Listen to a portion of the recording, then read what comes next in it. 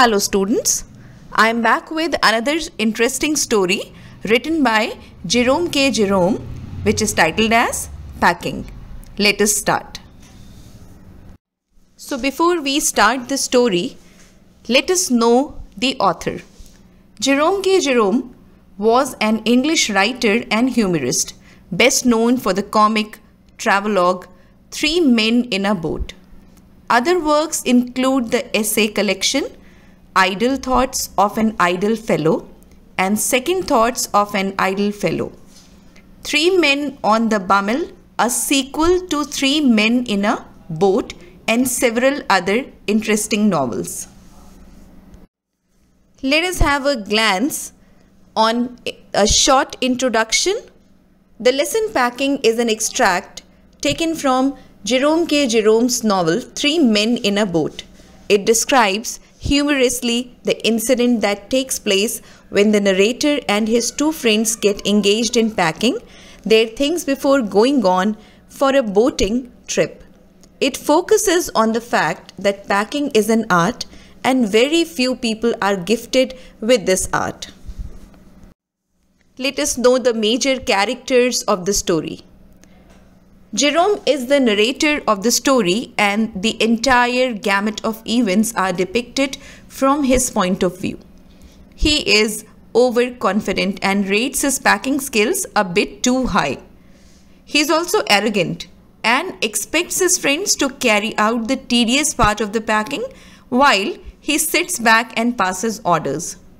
His friends, however, do not take him seriously and finally he has to struggle while trying to pack the bag. Jerome is both clumsy and forgetful. He first forgets to pack the shoe and then they can't recall if he has put in his toothbrush or not. He unpacks the bag twice clumsily to accommodate the missing items. When his friends fumble while packing the hamper, he sits at the edge of the table and watches them because now it is his turn to have fun at their expense. However, he is an ordinary boy who ignores the shortcomings of his friends in the same way as he ignores his own. The other two characters, George and Harris, let us talk about them. George and Harris are the friends of the narrator, Jerome. Both of them are as clumsy, ill organized, forgetful, and casual as Jerome. They commit mistakes even while doing ordinary tasks and keep repeating their mistakes. Like Jerome, they too are mistaken about their talent to pack stuff and are overconfident about their performance. They damage or spoil many things like cups, pies, tomatoes, butter, and lemons while packing the hamper. Their action amuses the readers, especially when they misplace the butter and search for it all over the place. Somehow, in spite of making a fool of themselves while packing for the trip, they don't believe in any blame game and ignore each other's mistakes. So let us meet the most interesting character of the story, which is the pet dog of the three friends, Montmorency, which makes us laugh on and off in the story. Montmorency is the pet dog of three friends, Jerome, George and Harris. He is pampered pet and knows no restraint on his behavior. His animal instinct to prove everything creates a nuisance for his masters. He likes to be the part of all the activities going on in the house and gets excited to see the boys packing things. He doesn't mind being shouted at and does not even respond when they try to move him away from the packed of stuff. He is a super energized pet. He may ill-trained, temperamental, destructive and meddlesome, but he is loved by the readers as much as his masters. His presence in the story makes it more interesting and amusing. So, after knowing the major characters of the story, let us know the theme, title, and most importantly, the message which the story of packing provides us. As far as the theme is concerned, packing is based on the theme that routine tasks are not as easy as they seem to be. The humorous account amuses the readers with the chaotic and confusing situations created by the clumsiness of three friends, all of whom consider packing to be child's play.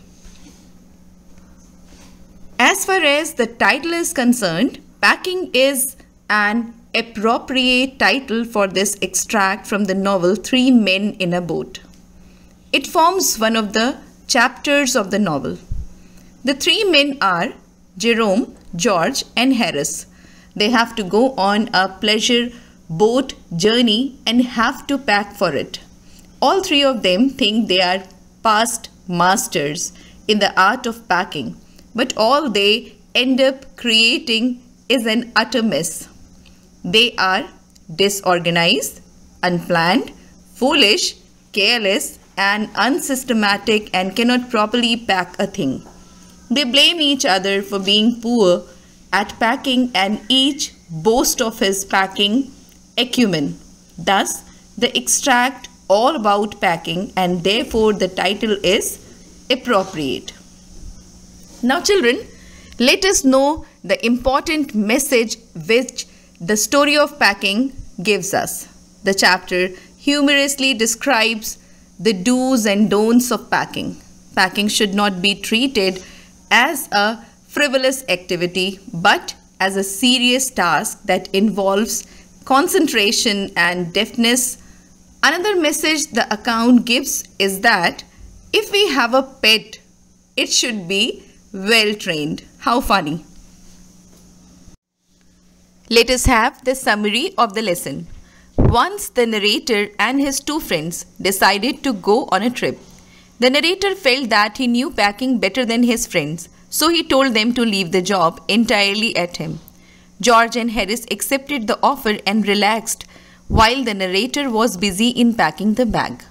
They started with breaking a cup. Then Harris packed the strawberry jam on top of a tomato and squashed it. And then there was George who trod on the butter. In this way, they messed up things and took a long time in packing. The narrator's dog, Montmorency, lingered the task of packing by creating nuisance. He came and sat on things just when they were wanted to be packed. He put his leg into the jam and disturbed the teaspoons. He pretended that the lemons were rats and got into the hamper to attack them. The packing was finished at midnight. All the three friends went to sleep as they had got tired. Also, they had to wake up early. But the narrator was not happy to see both of his friends passing their time leisurely.